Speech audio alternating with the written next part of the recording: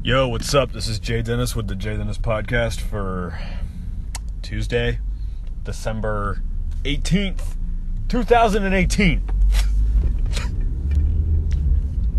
I haven't recorded jack since last week. I've been I've been busy.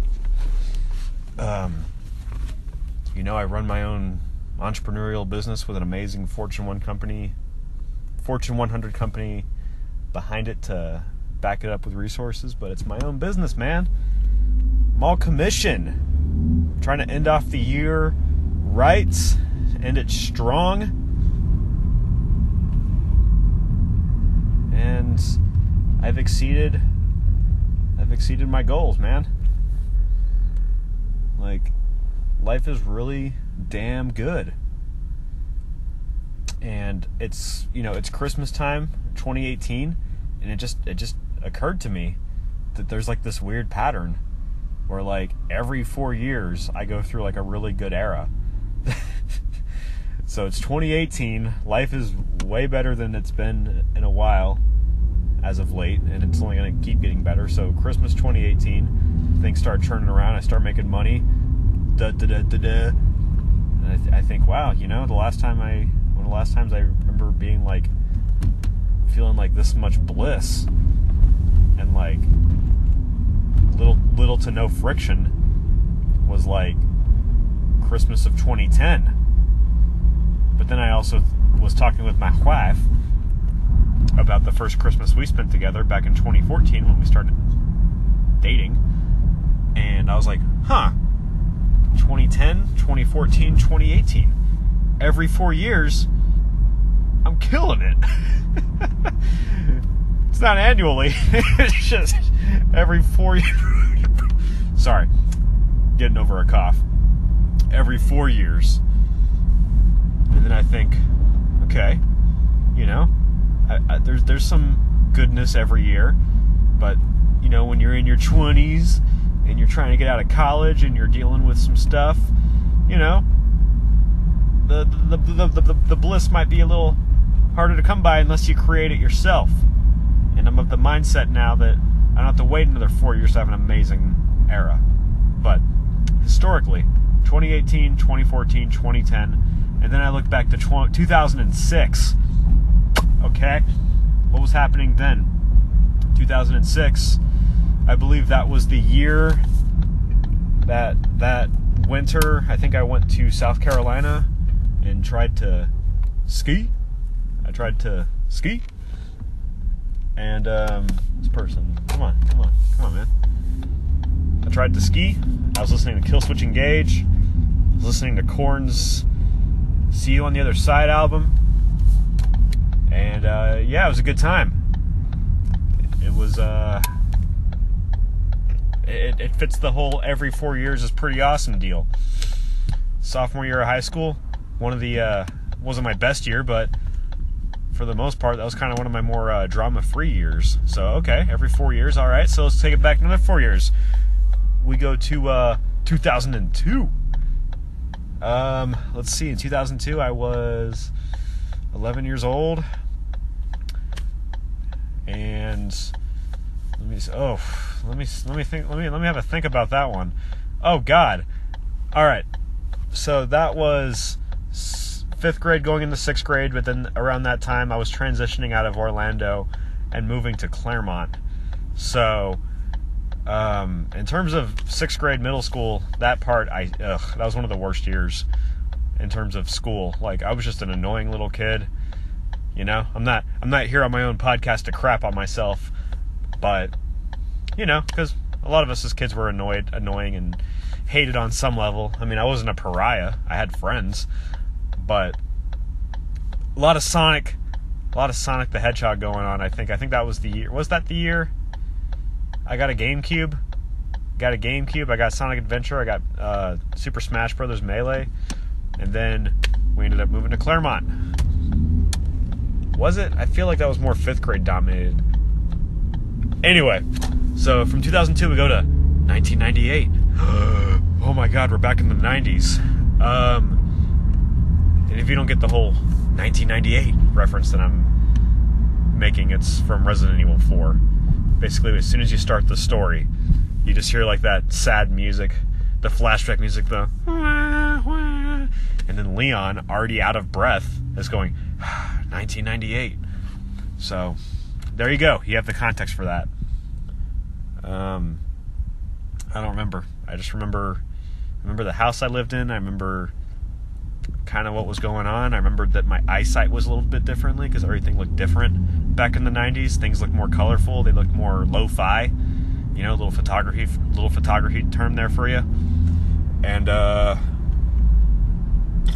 from there, 1994, uh, I was three, so maybe I, I, vaguely remember the house I lived in. I remembered a couple of other things.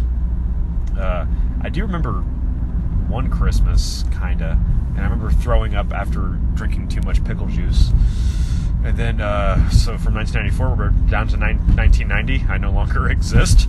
Uh, well, around Christmas time, I was, uh, I was, uh, I was in utero.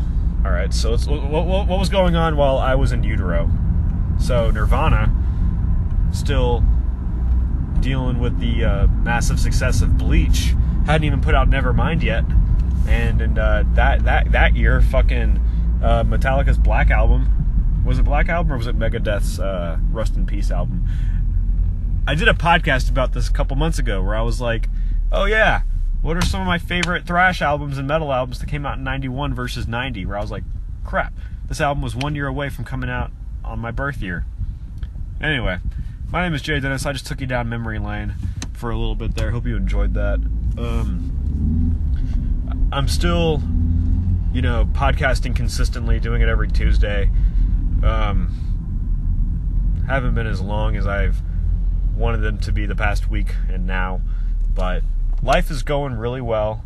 Um, been fighting off a, a sickness. Like, I beat the crap out of it and it, it goes away like 98%, but then I engage in some debauchery or some fitness or something and it comes back and then I have to hit it with the old medical cocktail again of acetaminophen, a couple of fisherman tablets, a vitamin C pill, um, a multivitamin, some orange juice, and maybe some some uh, flash pasteurized apple juice from Trader Joe's. And I was like, why don't they just call it flasherized? You know, that would be uh, that'd be a cooler word. Um, I'm also done. I am done uh, in the restaurant game. I finished my temporary part-time job last Saturday. Left on really good terms. Left a nice little left a light, nice little note for my peeps. Um, there have been places that I've worked at for like longer, where I just kind of faded away and like left with like hardly any legacy. But like some of these other places I've worked at, mainly restaurants, where I'm not there as long, but because I'm working with a good team and I myself am a good team player I don't have to work there forever to like leave an impression. So like I'm satisfied that I, I can go back there as a patron now and actually sit at the bar, enjoy the the good shit. And um, this particular bar is one of the more well-known places in my town, and um, the brewmasters brew all the, all their own beer there. So like, there's no like Bud Light or Heineken or um, shock top or anything. It's all their own beer, and it's fantastic. Um, beyond that, I have started to see some uh, drafts for the new Raptor Riot single. Uh, in terms of the artwork for the single, I I've seen a couple of drafts, and uh, I gave some notes and I gave some uh, appreciation. Should be seeing more uh, tomorrow or whatever. Maybe on the next podcast, you guys will get more of a an update.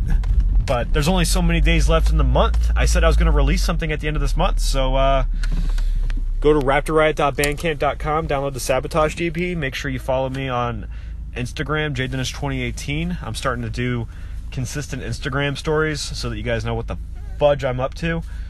And um, yeah, like again, life is a lot better now. And uh, anybody that says that money can't buy happiness, uh, usually they're broke. So uh, until the next clip.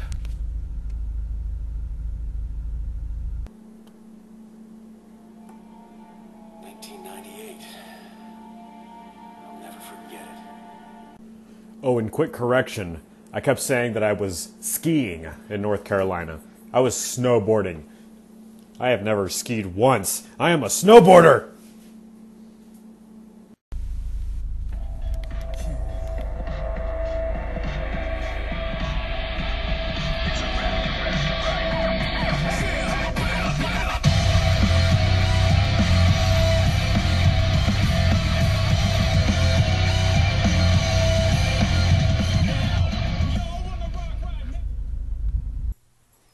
You enjoy that teaser? That's right. You'll be getting more of that later this month. End of 2018. This is Jay Dennis, Jay Dennis Podcast. Still Tuesday. Doing this whole dang thing this week on this day. Didn't do any clips throughout the past week to uh, throw together into this amalgam of a podcast, which I use to articulate my thoughts that a lot of people I know and love, the best people, the best people, or just regular people that I just meet on the streets or at networking events or whatever. They can't wrap their head their heads. They can't wrap their heads around a lot of what I talk about because a lot of what I talk about, a lot of what I believe, and a lot of what I apply is not average. It's not normal. It's weird, it's different, but it's powerful. And that's why I am rising and will continue to rise to where I want to be at a much higher level. I've been starting this since I was like at least 20, maybe 18, but it's only been a lot more as of recently. Things have been falling into place actions that I've taken, plans that I've put into place and laid out. Things are starting to come together. I'm podcasting while I'm walking around my house right now. And um, so if you hear some noise in the background, it's because I'm multitasking. Okay? I do believe that if you multitask, something suffers. But, you know, it's Tuesday night. I meant to post this earlier in the day. I will post it today you know, stay dedicated to my Tuesday podcast date, many of which some of you will get on a Wednesday morning, especially if you're on the East Coast where my, my family's from, old friends too. Um, but I just, I just want to relax, man. I just want to relax. So sometimes it is easier to kind of pile things together, but I'm doing things that are meaningful, okay? I'm not outside mowing the yard. I'm not outside doing loud stuff. I'm not bathing my dog with running bathwater. You might just hear a little bit of shifting around as I kind of clean up a little bit and move things around and organize because my house is generally clean, but I've got family coming up this weekend and I like my house to be you know, spick and span. And I do it because I want to. This isn't one of those sitcoms or one of these rom coms where you know, I'm the stupid husband or stupid newlywed that's like, oh, the, the in-laws are coming. Oh God, what if they don't think my house is clean? They're gonna, they're gonna judge. And it's like, nope. I married into a family that does not have crazy in-laws. And also, I have high enough self-esteem to where I don't have to put that much weight onto that kind of stuff. So, boo on that. Who knows if that was a Hollywood created stereotype, but I know that in-law in-law problems are a thing, but fortunately, I don't have that problem. So, the point of this podcast, just in general, just aside from telling you what I've got going on and everything, you know, the Jay Dennis podcast, I'm telling you what is up with me in my world, in my life, is to just simply empower you, man. Like, I really hope this thing hasn't paused.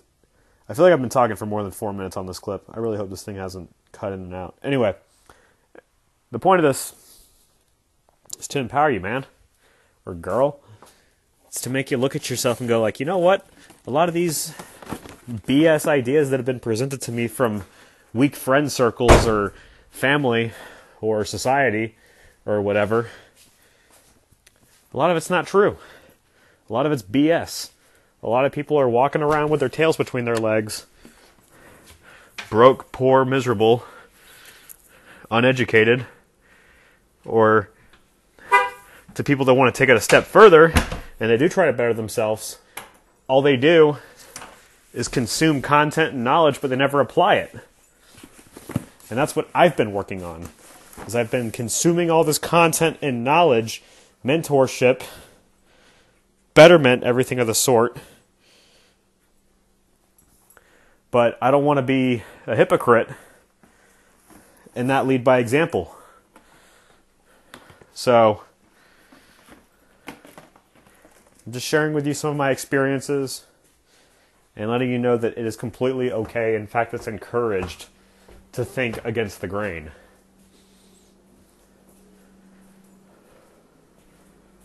I used to work for a company that was very much against having facial hair. Now I can do it whenever the hell I want to. I used to have to ask a boss if I could leave early. Nope, I can do that whenever I want to.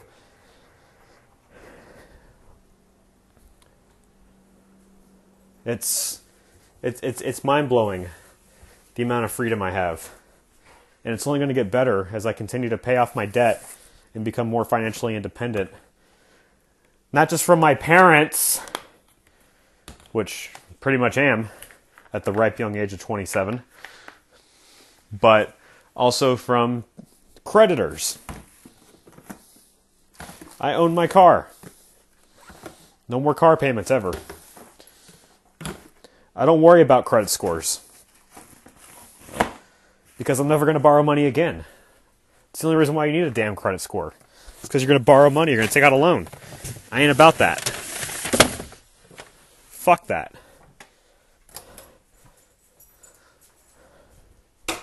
Have I talked about this in a past podcast, uh, in a recent podcast, about how different I am, and just kind of just basically putting my dick on the table and saying, "Look at it.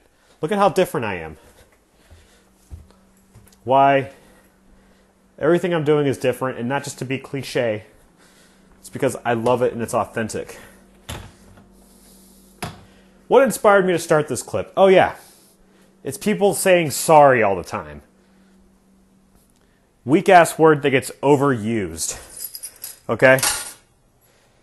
There have been a couple instances in my life the past couple days where people that were in no position to use the word sorry kept using it. And it happened so consistently that I pegged it as a trend and just basically said, you know what?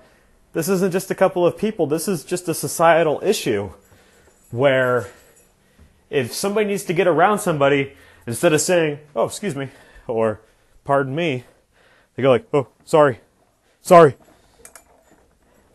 Like, I'm in a hallway, right? I'm talking with some friends, but we're each leaning on the opposite doors or opposite walls of the hallway so as to leave room for people to walk through. Hercules, get out of there. So, me and my friends and my wife are leaning against opposite walls of the hallway and just talking to each other, you know, across the hall. You know, it's probably about five feet. The, the hall's probably about five feet wide, so we're able to talk to each other. But we're leaving room for people to walk to walk through. Every person that walked through I counted like 12 people. Every person that walked through, oh, sorry. Even though we are 0% in the way, and they are 0% causing any kind of like needing to like walk around us or like have us move out of the way. We're already out of the way. But these people that are just walking through are like, oh, sorry. It's like, just walk through. And if you feel like you're a hindrance, say, excuse me. The same thing happened today as well you know, I'm sitting at some event and I realize I'm kind of in a awkward space, so I kind of move my seat over a little bit so people can kind of cut through. I leave enough room for people to kind of just cut through so they can I cannot be in their way. And every person that can kind of just walk through, oh, sorry, oh, sorry. I'm just like, this is 0% affecting me in a negative way. If you had to say anything, to say like, oh, pardon me, just in case my hips hit you in the shoulder or something. So, all this to say, I appreciate you listening to my podcast. I want you to come out of this feeling a little more empowered, less disempowered. We got a bunch of weak people walking around the United States, and I'm tired of it. And this isn't even coming from like a political standpoint. This is just like general weakness, men and women. It's irritating. And all I want to do is share what I can, my perspective and my mindset changes to kind of maybe open your eyes, your your mind's third eye, if you will. Because I don't want to see people fail. I want to see people succeed. And in order for me to be successful, I'm not going to tear people down to pull myself up past them. I'm going to help people up and become stronger so that I can therefore pull myself up higher with support behind me. Thank you for listening. Hey, it's Jay Dennis again, the podcast. Listening to System of a Down, Steal This Album, quintessential Christmas music right here there's a odd duality about me where since the age of 18 or whatever 20 a lot of my young adult life consistently been striving to grow and to be better and of course move on from stuff that I've carried that I've carried with me from either childhood or early adulthood like friendships falling out and everything and I like to think that on a deep level, in terms of forgiveness, closure, what have you, I've moved on and I've forgiven and I've apologized where it was due.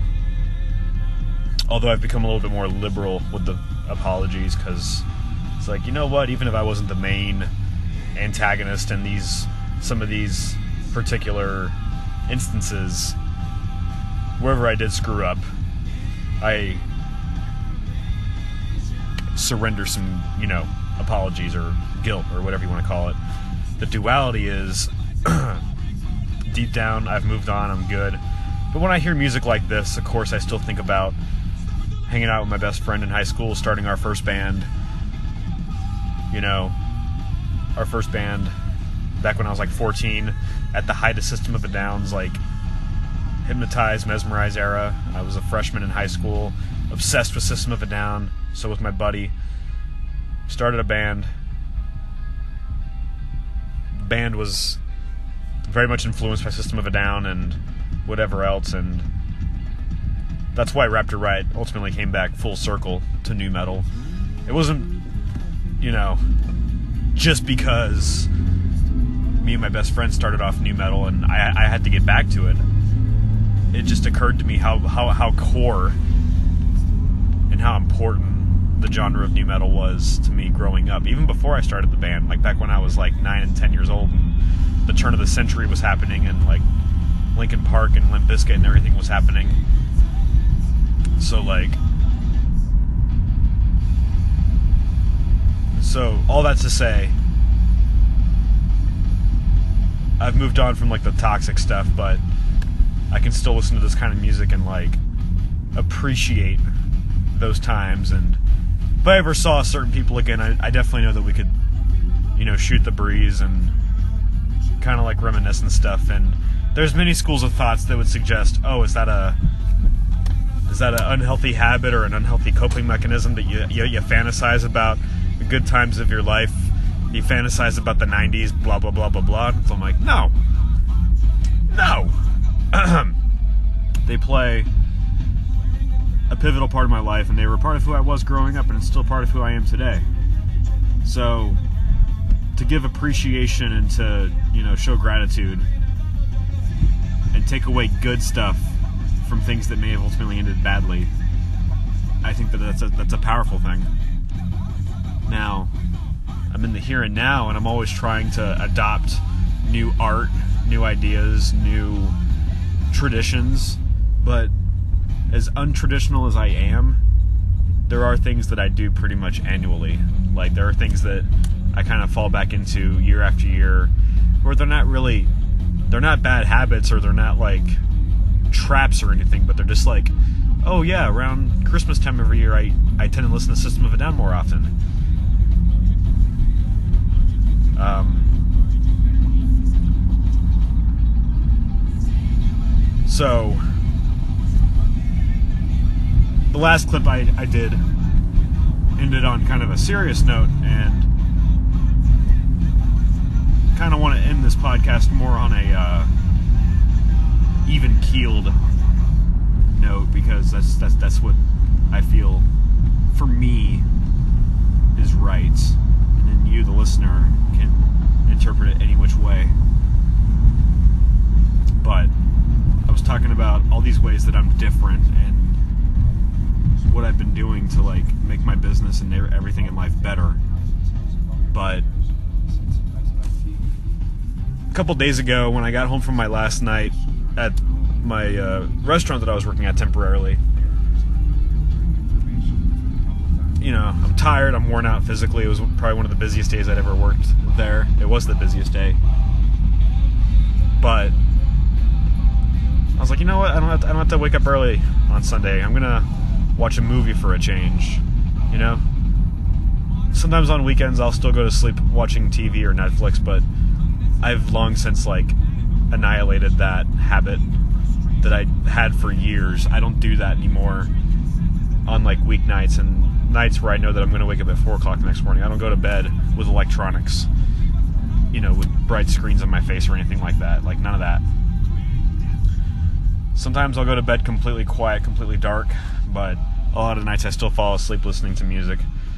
But I, I pick the music in advance. I turn my screen brightness all the way down so that if, God forbid, I do have to look at my phone in the dark, it's for a second and it doesn't do anything. I'm not on social media doing a bunch of other nonsense.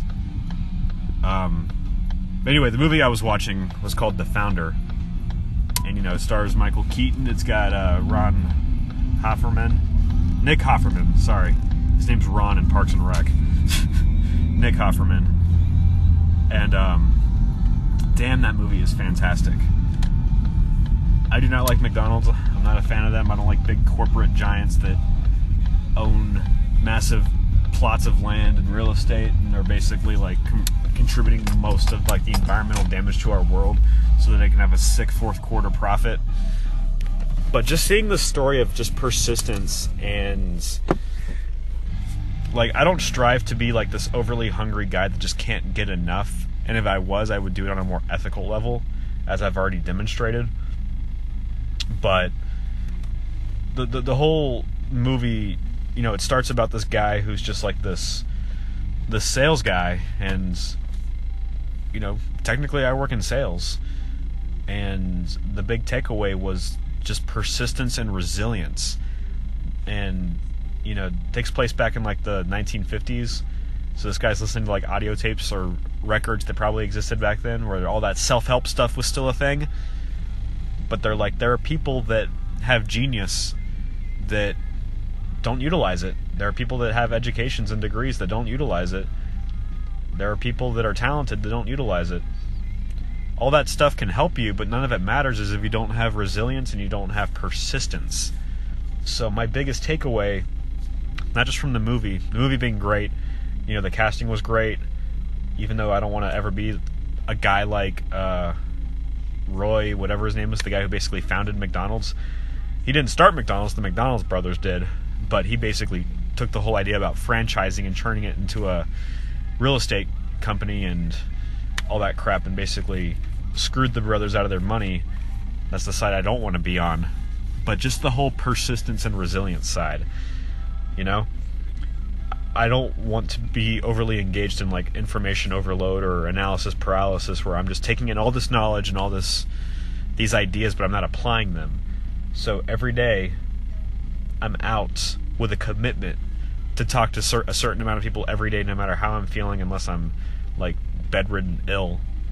But fortunately with my with my career I have many means of being able to talk to people so I don't have to go out and get dressed and knock on doors. I can make calls from home. I can text. I can email. So either way, um, but if there's anything you can take away from this podcast, it's just the founder is on Netflix. I think it's a great movie. Anybody can really appreciate it. But I think if you're trying to better yourself and you take the good part of the lesson from the movie it's uh, I was wide awake the entire time. Like I was really enjoying it. It's a really great movie. Um, and I take I, I take that with me, no matter how many times I get told no, and uh, how things might look in the uh, short term occasionally. I know what my long term vision is. I know what my more long term goals are. I got them broken down by months, by quarter, by week, by day, by year. And the biggest thing I can do to achieve those is to be consistent, persistent, relentless, just like a sick System of a Down riff.